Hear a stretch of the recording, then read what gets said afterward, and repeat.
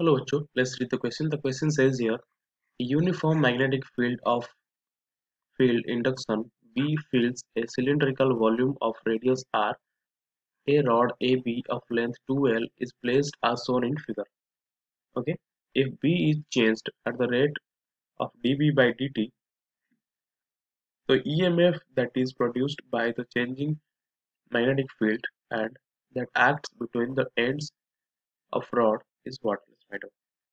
So EMF induced between the ends of the rod epsilon is equals to A dot dB by dt, where A is the area of the triangle triangular AOB AOB from figure OC is equals to root over of OB square minus BC, BC square. Okay?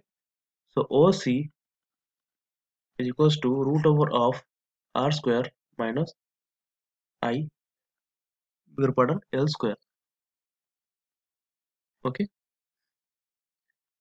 So area of triangle A equals to half into OC into AB okay?